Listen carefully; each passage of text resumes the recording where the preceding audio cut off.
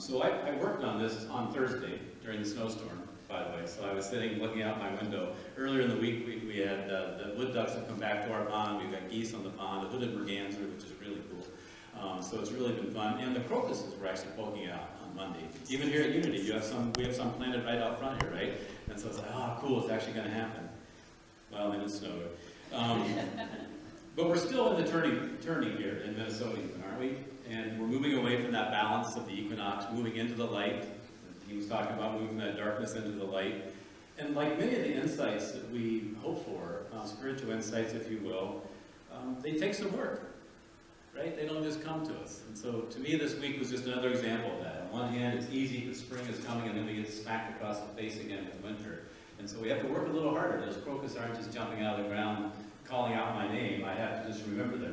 So it takes a little work in the, in the, in the midst of this. I think that's, I think that's kind of accurate for um, some of the insights that we try to gain anyway sometimes. We do, they do take some work on our part, some discipline, if you will. And uh, I don't know, does anyone else plant seeds indoors? We're taking a year off. How many people plant seeds indoors? Isn't that something? Do you have many yet?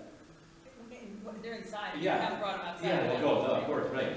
Um, so we took a year off, and I missed that. It's such a fun thing to sort of have those tiny little seeds that are going to nurture you. And I think there's something to consider at this time of year about the fragility of that which we hope will come into fruition later this summer.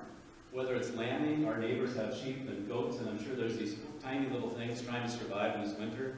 Um, I grew up, we grew up with cattle, and even in Ohio, um, calving was always a risky venture at this time of year because of, you could get smacked with winter with these tiny little um, creatures that were so vulnerable that are trying to make it.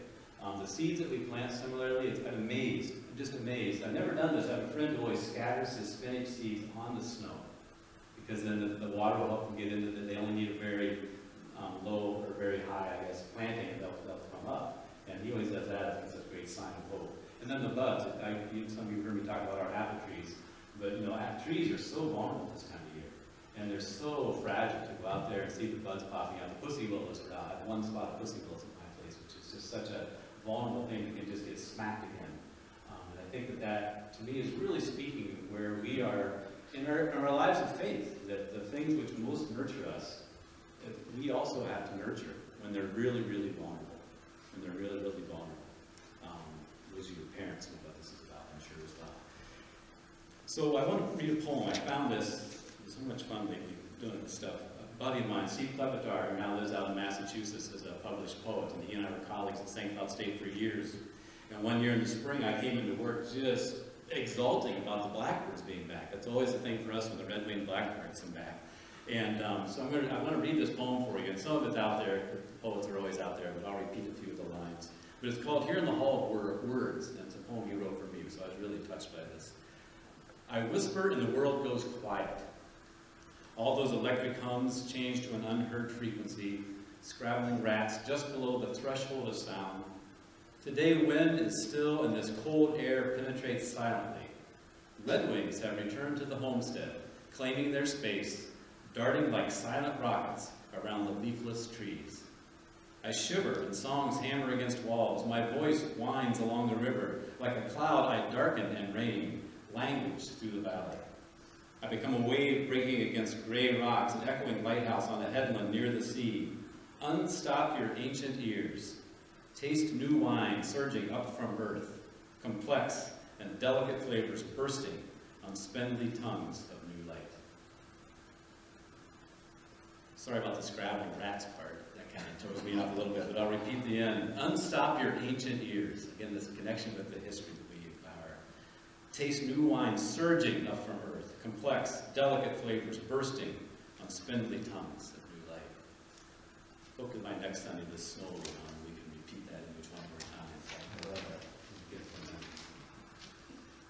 So Palm Sunday, thanks again, Dean, for that reminder. Um, one of the things that's been really interesting about, even though we had to cancel this last week, is this class that a handful of you are participating in on the uh, five principles. It's been a reminder really, uh, both through the aversion um, that some of us have for some of the traditional images we have for divinity, if you will, the theistic images, if you will, people in unity have really kind of stepped away from. And again, theistic is this idea of God as a supernatural being that's out there somewhere, right? That's theism. That's a Spong, um, his full name. John Shelby Spong, Episcopal priest, uh, bishop actually, as a term, he introduced that to me, the idea that God is out here somewhere. Um, and yet, even in the more um, in the text that we're using for that class, and some of you remember this, is entire, she does a preface where she goes through a whole list of the terms for God, right? Because there's so many different ones. I mean, some of you heard me talk about lately, I've been really reminded of Paul Tillich's notion of the ground of our being, which just is a very poetic. It doesn't work in our music very well, right? So we end up saying God, we end up saying Savior, we end up using the Christ. But I think it's really fun to wrestle with some of these images.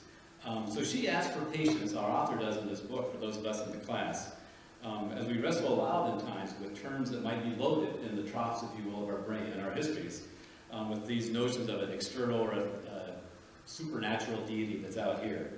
And we do wrestle with that in our music, in our speech, in our prayers. When I, was, I think about on Palm Sunday, um, I think about the stories that we have from Palm Sunday, I'm reminded of um, Marcus Borg's insight about the idea that the Bible is both history and metaphor. Right? So when we look at those stories, which still motivate us today, it is both history, it tells a story of something that happened, but then the ancients undergirded that with, with images, with images that might speak to us in addition to that history. And they cross at times, and I want to read a quote about that, which I find kind of intriguing.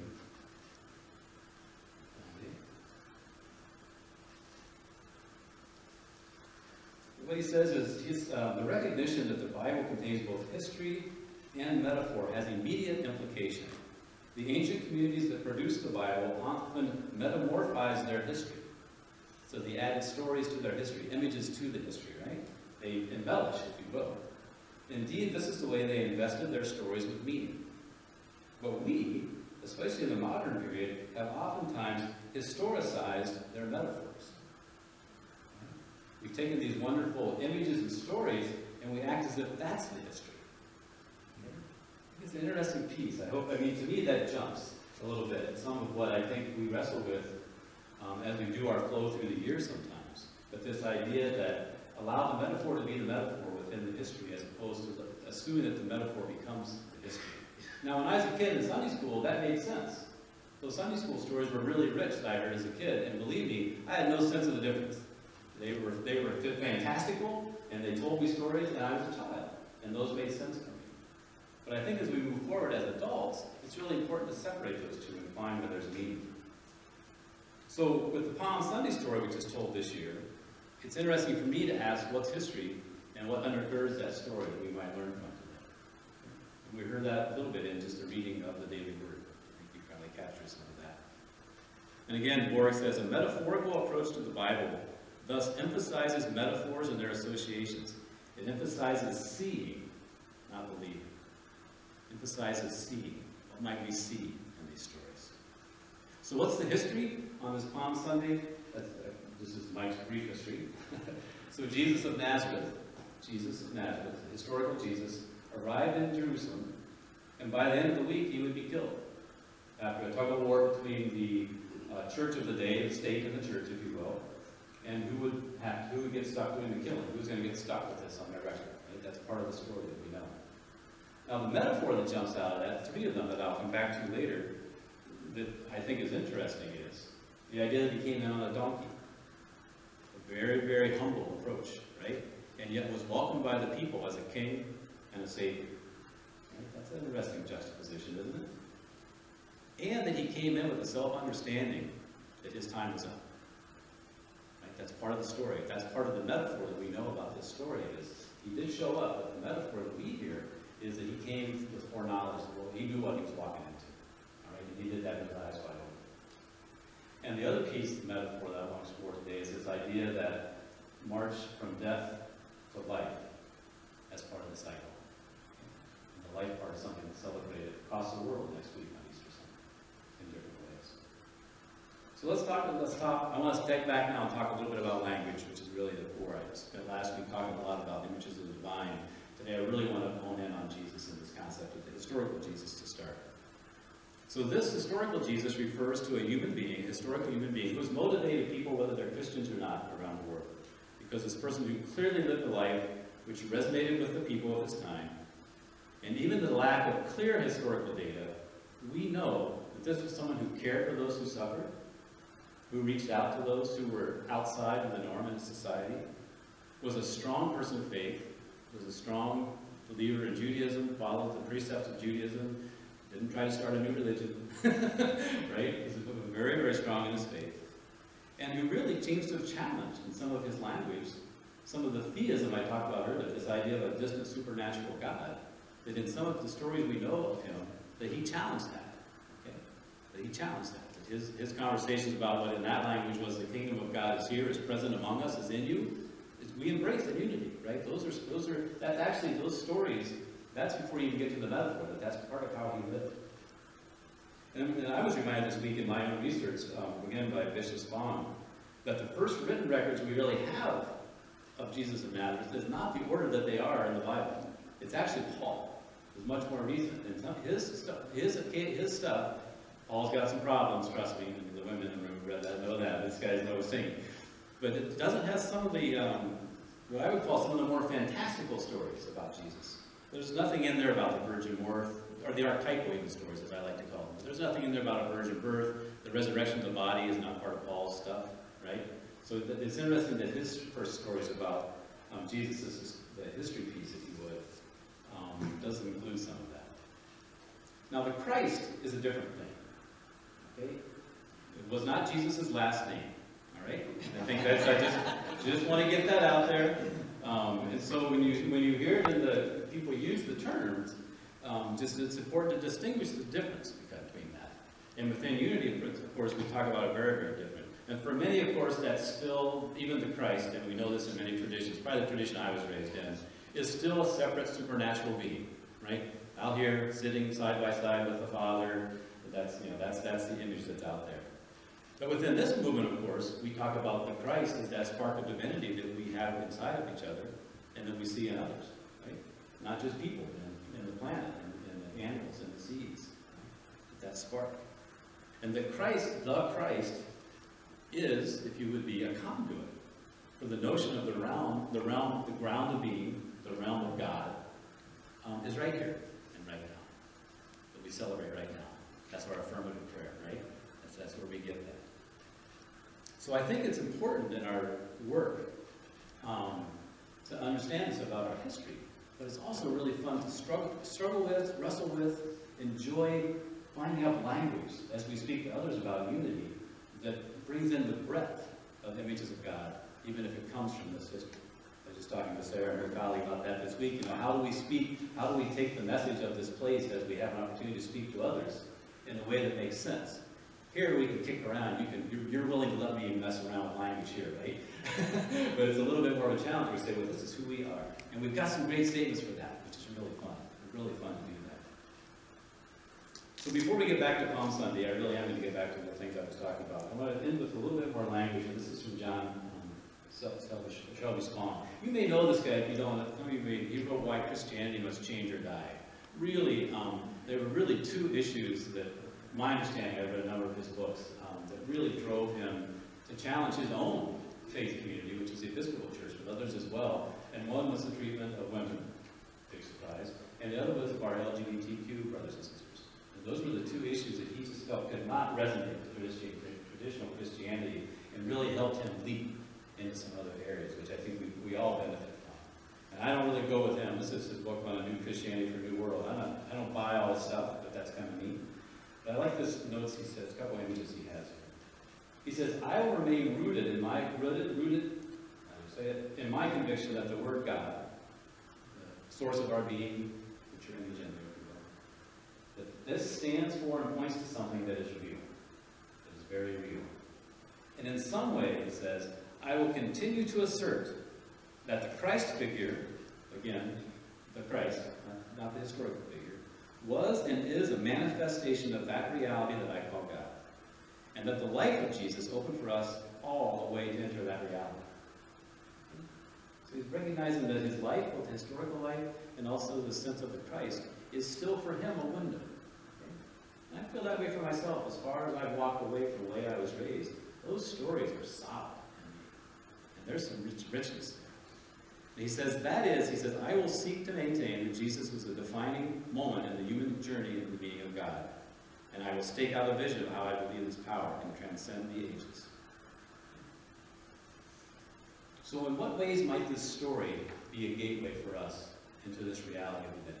I'm, I'm going to offer you three suggestions this morning that resonate for me. Ways in which the story, the metaphors, if you will, help us see that this historical figure and also that which he was and became um, helps us understand our own sense of divinity. So the first one I mentioned earlier was that he came willingly to this place, that he walked with open eyes into what he knew would be his death, a very violent death. That the idea of his ministry, his journey, his prayer, right, his prayer, would lead to an acceptance of his own death as part of the larger story. Recognition of death as part of the cycle of life. And he consistently challenged the notion, this is really important, that anything could ever separate us from the divine spark, including death. Now in unity we call that a transition, right? But that has its roots in this notion. And that's the story. That's part of his story. That's part of the story, the metaphor that undergirds the history. The idea that nothing, nothing separates us from that divine. The donkey, I love this part of the story, came on a donkey. That humility in the face of those who wanted a king to directly challenge the powers that be. This was one of the constant wrestles with the historical Jesus, by the way, right? But the stories are that consistently people said, we want a new king. Rome sucks, right? This is horrible. We need to overthrow these people. They're not treating us right. The church leadership is bad for business. They're corrupt. We need a new leader, right? And he faced that with great humility. Great humility. And that brings me to the last piece. The uh, palms and the cheers, right? That just adds to that. That was, again, the greeting of a king. And what, what was his life? What are the stories that we know? That he said no to that. That power over was not the message. The message was power with. Message was power with. Some of you know I worked in the sexual assault field, and this is one of the one of the most telling images that helped me in my work, particularly as we worked um, with abuse that's happened in the church. I'm not sure in unity so much, but you all know the stories. Um, and a, a chunk of that really was the notion in those institutions, it happens in other places in our society too, of course, but the idea that when you are working with people and you have power over them, that somehow that actually helps them. And we know that that's a bunch of baloney. The way we help people, the way we give, is we have power with, we empower other people, right? And that's, that's again, that's part of the metaphor, that's part of the It's history, that's part of the story. So those couple of things, if you will. That willingness, that recognition of the cycle of life, death, life, humility in the face of people trying to push you up, and you say, well, thank you. And then this recognition, this really clear recognition that power is best when it's shared. That's the best way we can use our power. So when I think back to the cycles that we live in, here in this lovely place where we, where we live, my new parsonage up on the hill, as well as uh, every else place we call home, we look, we look for comfort and support and understanding and nurture in our lives, don't we? As we gather with other people. Um, and then we also look to nurture the seeds, the young, the vulnerable around us. That's part of the gift, that's part of our life, that we have this, give and take with one another. There's times, you all been here long enough, you all know this, there's times when we walk in this door and we are already juiced when you come in here, when we walk in here, right? Life has been going great. Dean saw an eagle along the river this morning, right? That picks you up. And there are times when we walk in here and we're in pain. So there are times when we need to be nurtured. There's times when we are the people who are doing the nurturing. And my hope is that we simply be gentle with ourselves and that we're gentle with one another. That we're gentle with the plan. And perhaps, perhaps, we can glimpse some of the stories that undergird our experience of the physical realm. Because that's where the richness comes in.